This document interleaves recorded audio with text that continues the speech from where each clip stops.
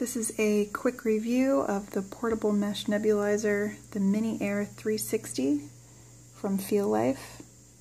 I got this one on Amazon. This is the main unit and you can do direct inhalation straight from there or you can use the mouthpiece that it comes with. It also comes with a larger mouthpiece. Um, I've already filled it up with a few drops.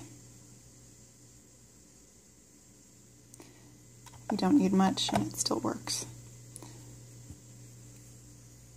So you turn it on by pressing the green button.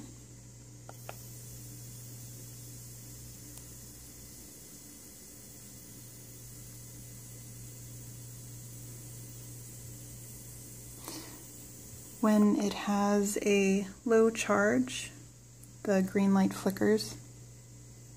It comes with a USB cable and has a USB port in the back so you can charge it.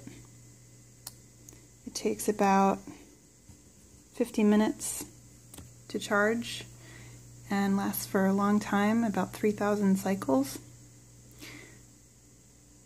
Um, it's about four inches high and very lightweight, about 100 grams. Comes with a user manual and a travel case.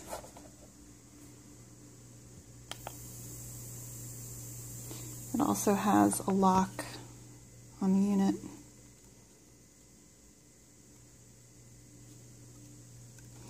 And when you are done using it and you want to wash it, you just remove the components. You can press this button in the back to release the medicine cup. Just like that. And just run it through warm water. And when it's dry, put everything back and you're ready to use it again.